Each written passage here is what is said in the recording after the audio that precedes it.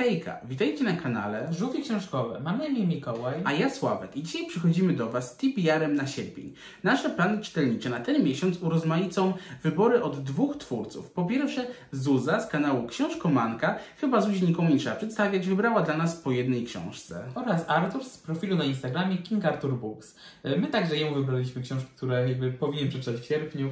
E, No mamy nadzieję, że w ogóle nasze plany właśnie na sierpień się sprawdzą, to co sobie zap- zaplanowaliśmy do przeczytania. Tak, poza tą czytelniczą zamianą, po, poza tym, że wymieniliśmy się tytułami, pokażemy także książki, które sami dla siebie zaplanowaliśmy. No i jak się zapowiada Twój miesiąc czytelniczo?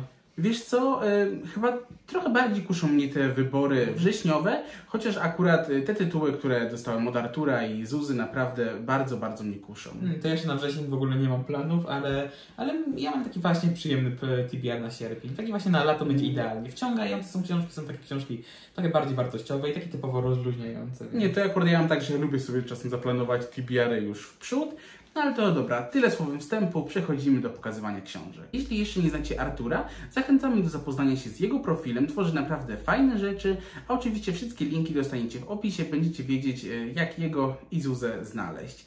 W takim razie zacznę książki, którą dostałem, e, właśnie od Artura, czyli Wierzyliśmy jak nikt Rebeki Mackay.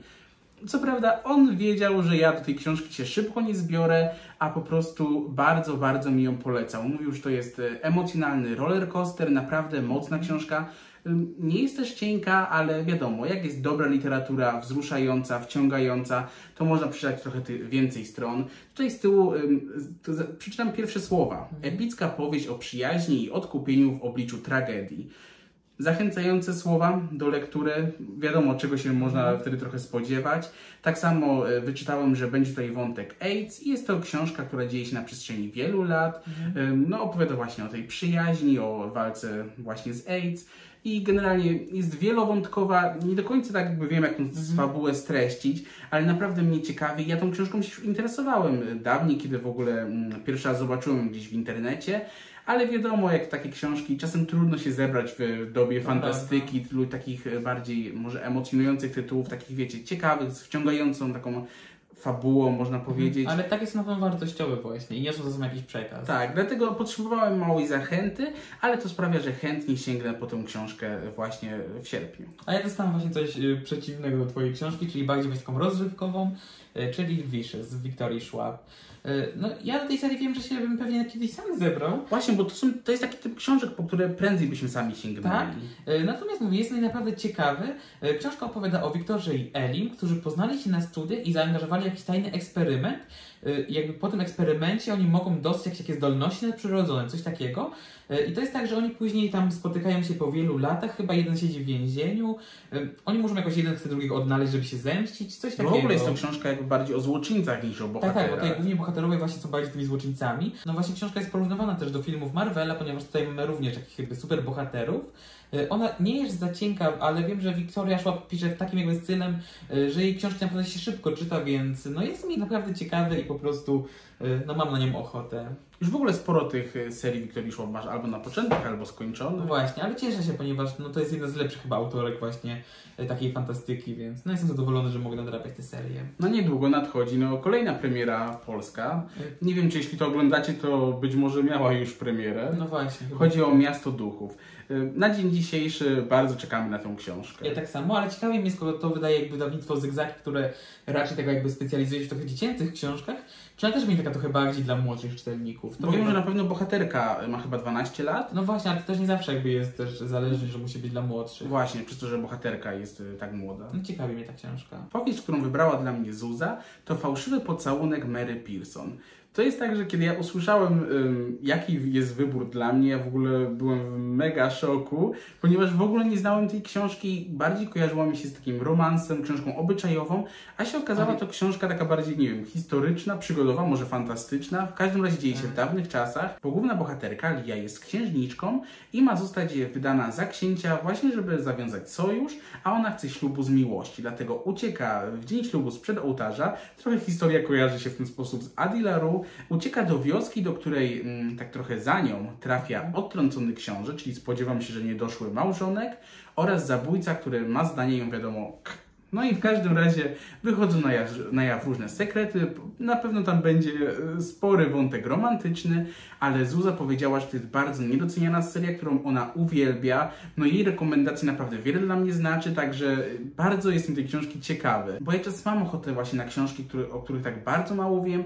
Chcę właśnie się samemu przekonać. Tutaj mam tę rekomendację, ale też dowiedziałem się od Zuzy, że jest to trylogia i trzeci tom dopiero zostanie wydany w Polsce. Dlatego zdziwiłem się, bo okładki nie sugerują, że jest to taka nowa seria, w ogóle tak samo Właśnie. tytuł. Zdziwiłem się, że jest taka aktualna seria, ale jeśli mi się spodoba, to na pewno przeczytam całość. Zuza wybrała dla mnie książkę Listy do utraconej Bridget Kemmerer. No ja za tą książkę taką młodzieżową nie mogłem się zebrać. Ona bardzo mnie ciekawiła, też zbiera bardzo dobre opinie, więc to będzie taka fajna motywacja, żeby wziąć ją w sierpniu i przeczytać. Książka opowiada o nastoletniej Juliet, która jakby nie może sobie poradzić ze stratą swojej mamy. Tak naprawdę przeżywa właśnie bardzo trudne chwile w życiu i żeby tak trochę można powiedzieć odreagować, żeby jakoś sobie w, sposób, w jakiś sposób sobie poradzić, ona chodzi na cmentarz, na grób swojej mamy i zostawia tam takie liściki kierowane do niej. Drugim bohaterem jest Declan, czyli taki typowy buntowniczy nastolatek, który odbywa prace społeczne na cmentarzu i właśnie znajduje on list pozostawiony przez Juliet i postanawia na niego odpowiedzieć. I tak się nawiązuje relacja pomiędzy bohaterami. Z tego co przeczytałem, to właśnie główna bohaterka nie jest zadowolona, że ktoś naruszył jej prywatność, no i pewnie prowadziło pewnie do jakiegoś wątku romantycznego albo typowej przyjaźni. Tak, zacznie się od dramy, ale zobaczymy w co się przerodzi. Właśnie. Natomiast, no mówię, to jest bardzo ciekawy pomysł i mam nadzieję, że ten wątek właśnie takiego komunikacji poprzez te liściki na cmentarzu mm. będzie fajnie wykorzystany i też dosyć dużo go będzie, ponieważ ja lubię coś takiego w książkach. Pomysł jest ogólnie super. Właśnie, więc no zobaczymy. Ja mówię, jestem jej bardzo ciekawy i słyszałem, że ma taką kontynuację, nie do końca aż tak powiązaną więcej niż słowa. słowa. Mm. Zawsze mówię więcej niż myślisz. Więcej niż słowa, ale no mówię, przeczytam pierwszy tom i zobaczę, czy mi się spodoba, ale mam nadzieję, bardzo na niego liczę. Książka zbiera bardzo dobre opinie, aktualnie jest trochę trudniej dostępna, ale już od jakiegoś czasu mamy ją na regale. Ale może na jakimś Eliksie, czy takiej właśnie używaną książkę mm. łatwiej będzie znaleźć. Dobra, w takim razie Zuza, Artur, bardzo dziękujemy za Wasze wybory. Bardzo ucieszyła nas wiadomość o premierze kontynuacji poradnika dla dżentelmena o występku i cnocie Mackenzie Lee. Nowa książka będzie nosiła tytuł Przewodnik, nie, nie przewodnik. Przewodnik, tak. Przewodnik dla damy po halkach i korsarstwie. Dobra, aha, pierwsze było y, poradnik. poradnik, teraz przewodnik. Ogólnie nazwy są dosyć trudne, ale, ale właśnie fajne. Świetne, humorystyczne. Zresztą tak samo jak pierwsza książka.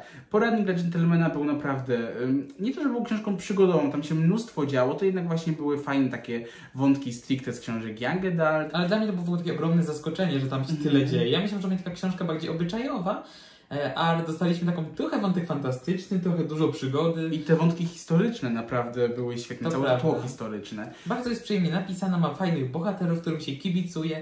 No mi poradnik się bardzo podobał. Wiem, że w kontynuacji bardziej skupiamy się na siostrze Montiego, czyli na Felicity. No generalnie to była bardzo wyrazista postać z pierwszej części, dlatego no cieszę się, że dostała właśnie swoją książkę, w której będzie miała okazję się rozwinąć, właśnie może już trochę bez tak jakby, nie tylko w cieniu brata, który również był bardzo wyrazisty wyrazistą postacią, ale właśnie dostanie trochę jakby... Na pierwszym planie zostanie, tak. Dokładnie. Ciekawe jakie będą miała, jakby będą wydarzenia w drugim tomie. I tę książkę planujemy y, obaj przeczytać w sierpniu. Teraz książka, którą chciałbym przesłuchać w audiobooku, czyli Trup na plaży i inne sekrety rodzinne Anety Jadowskiej.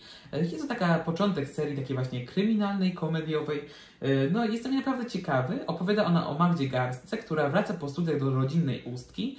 E, ma nadzieję, że te wakacje, które odbędzie teraz, będą takie najlepsze w jej życiu. Zatrzymuje się w pensjonacie swojej babci i zaczyna pracę w kawiarni. No i wszystko zapowiada się idealnie, dopóki nie znajduje jakby zwłok. E, ona znajduje zwłoki? Podobno chyba tak. No tak. Tak to jest napisane w opisie. E, Zapewne się naprawdę bardzo ciekawie. Będzie musiała odkryć, kim jest zabity mężczyzna, e, czego szukał w pensjonacie garstków, więc no zapowiada się naprawdę bardzo ciekawie. No i taką komedię kryminalną. Mam nadzieję, że będzie więcej tego kryminału niż tej komedii. To samo zresztą mówiliśmy w Bookhallu, bo ostatnio właśnie pokazywaliśmy tę książkę jako nasze e, świeże łupy. To prawda. No i Anna Taylorska pisze bardzo przyjemnie. No ja wiem, no, będę w audiobooku, natomiast no mam nadzieję, że mi się spodoba. Bardzo mi się podoba w ogóle styl graficzny, jak jest wydawane. Ale też styl Anety Jadowskiej sam w sobie zawiera dużo humoru, więc powinna się dobrze sprawdzać w komediach.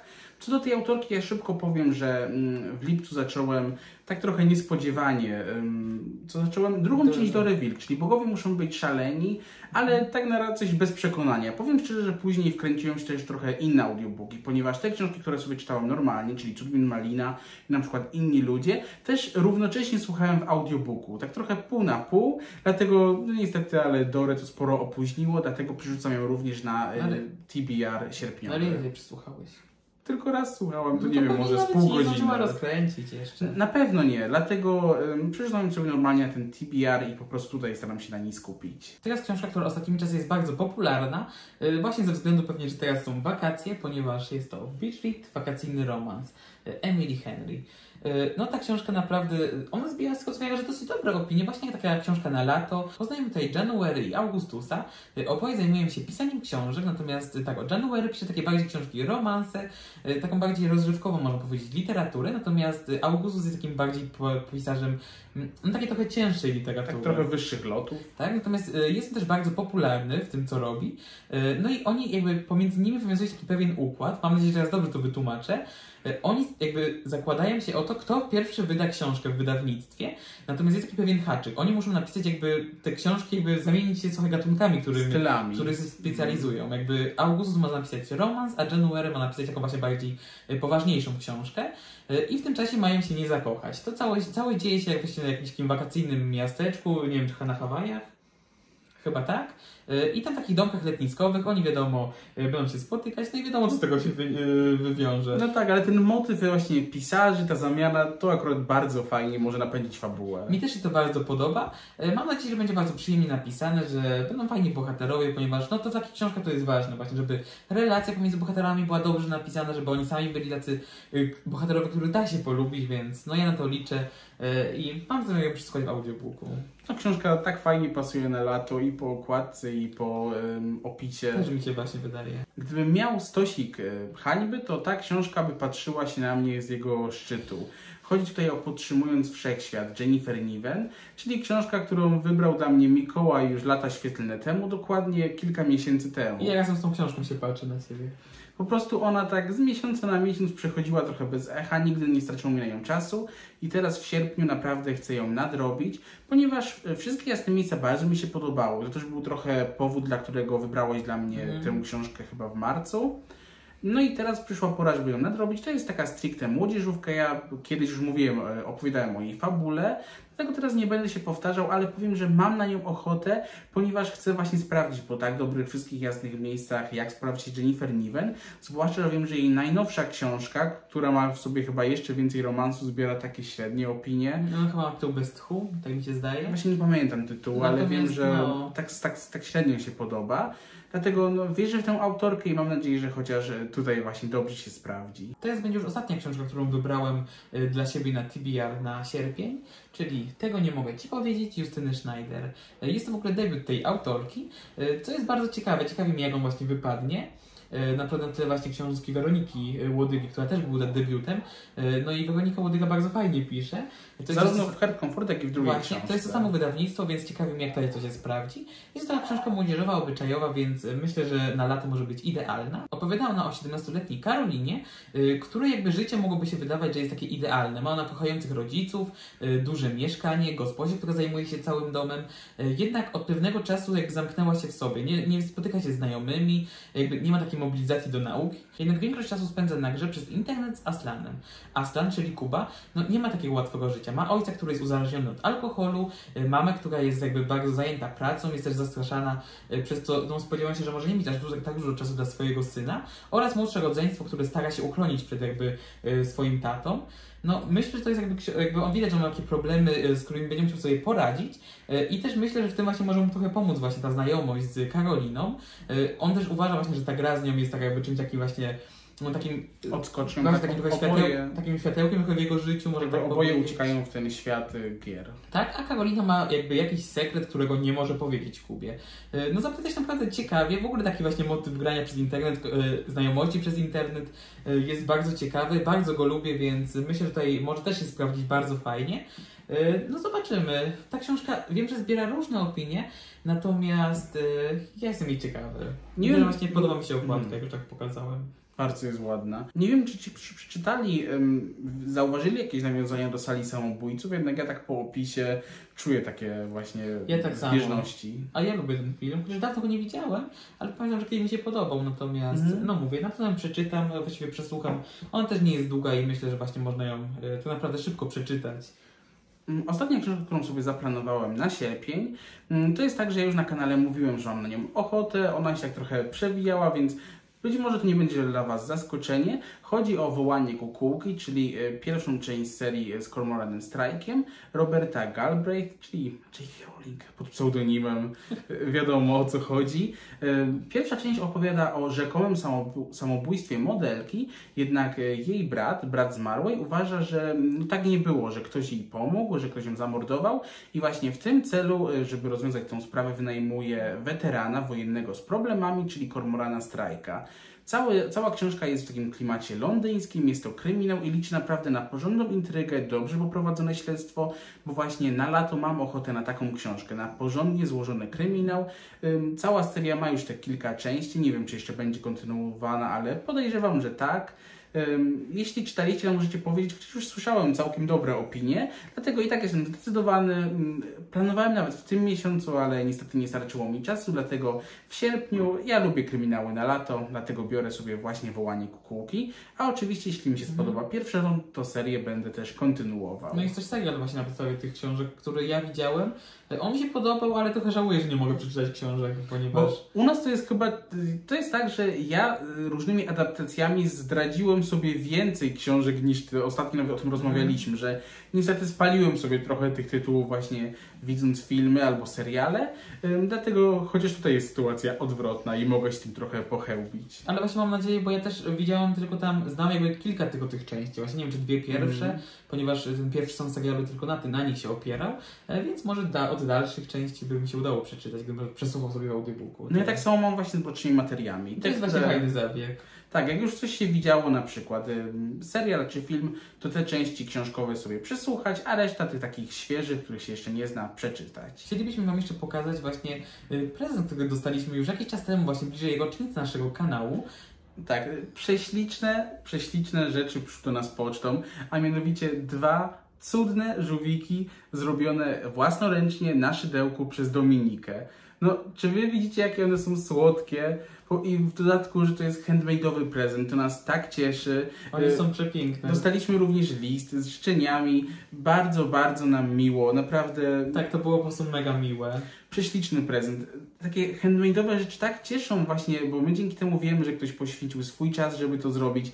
No dostaliśmy kiedyś e, przepiękny też e, namalowany obrazek właśnie żółwia, czy nawet żółwi, co też bardzo, bardzo doceniamy. Tak, to jest naprawdę ba- bardzo miłe i po prostu, jak tak się dostaje tą paczkę i się otwiera, nawet nie wiedząc co tam jest w środku Mm. y, i zobaczyliśmy jakieś żółwiki, to po prostu y, no, Ogromna, byliśmy- ogromna radość, a żółwiki już stoją e, i zdobią regał. Właśnie. To już tyle od nas. Jak widzicie, nasze plany zapowiadają się dosyć różnorodnie. My oczywiście trzymamy kciuki, żeby wakacje trwały jak najdłużej, ale na pewno ten czas będziemy sobie książkowo umilać. Dziękujemy Wam bardzo za obejrzenie tego odcinka do końca. Zapraszamy Was na naszego Instagrama, nazwa wyświetli się na ekranie. Zapraszamy także na konta na Goodreads i lubimy czytać. Wszystkie linki dostaniecie w opisie, również do kanału Zuzy i e, profilu Artura. Tak, zachęcamy do subskrybowania naszego kanału. E, Jeśli jeszcze tego nie robicie, a chcielibyście zostać z nami na dłużej, e, to wiele dla nas znaczy i będzie nam bardzo miło. Również możecie napisać coś miłego w komentarzu, albo po prostu podzielić się z nami jakąś opinią. Możecie również zostawić łapkę. Najlepiej w górę i widzimy się już w kolejnym odcinku. Cześć!